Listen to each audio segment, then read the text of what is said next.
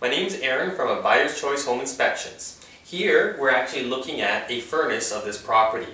One of the things to look out for the furnace is if it's been maintained recently or not.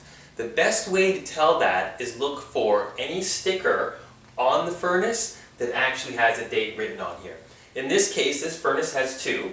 It has one states that's November of 2004, November of 2005, and November of 2013. So we can tell that this furnace was maintained this year. If you have further questions, please visit us at tricity.abuyerschoice.com. Thank you.